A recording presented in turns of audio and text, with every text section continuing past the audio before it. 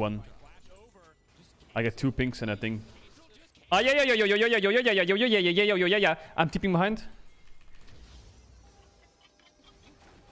I'm flanking. My ult's in one second. Bye.